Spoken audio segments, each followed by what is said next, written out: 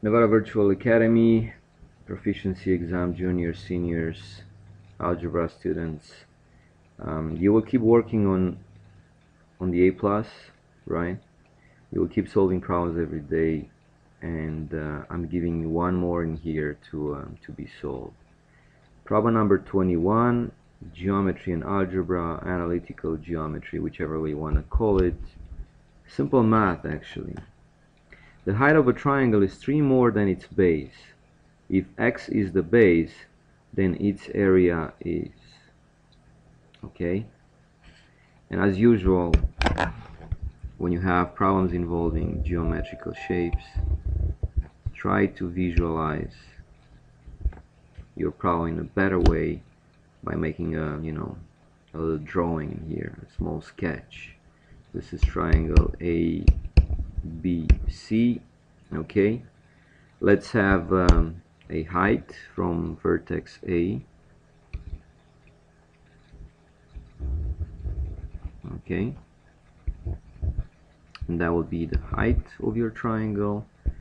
And obviously the intersected um, line the intersected side here the opposite of vertex A would be your base. Now if you guys don't remember to find the area of a triangle you need half one half of the base and height product right? One half base times height. And you may see it written as base times height over 2 or many other ways okay? What do we know? Well we know that x is the base of your triangle. So your b in here equals actually x okay? What else do you know well I know my height is three more. Be careful. Three more than its base. 3 more means 3 plus or plus 3 okay? Then its base which means my height will be its base x and 3 more than that plus 3 okay and now all I need to do is to take my height plug it in to take my base right and plug it in. This way, the area of your triangle will be one half of base, which is x,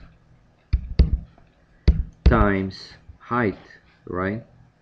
Which height is x plus 3. And this gives you what? Well, I will have one half. And first of all I will multiply this x to everything inside the parentheses will be x times x which is x squared. Okay as you can see I open another parenthesis because everything in here will get multiplied by one half after that. And then you have x times 3 which is 3x alright now if you check your answer there's no parenthesis which means I need to remove that and I will multiply everything that's inside this parenthesis by 1 half. So I will have 1 half times x squared, 1 half x squared plus 1 half times 3x, which becomes 3 halves x.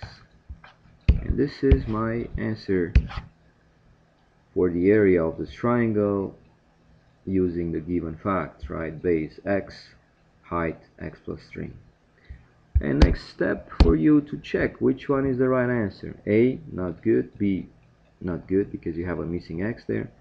C is definitely the right answer. C looks exactly the same with what you have. After you have followed the steps that I show you here to solve the problem right? 1 half x squared plus 3 halves x. And this is it. Basic stuff. Go back into your booklet. If you don't remember the area of a triangle or if you're not sure about it or if you want to double check check it. It should be there. Then state your facts. X base. Then what 3 more means? Very important. 3 more is not 3 times. 3 more is 3 plus or plus 3 plug in substitute the values x for base x plus 3 for height then simplify and here you are. You've got it.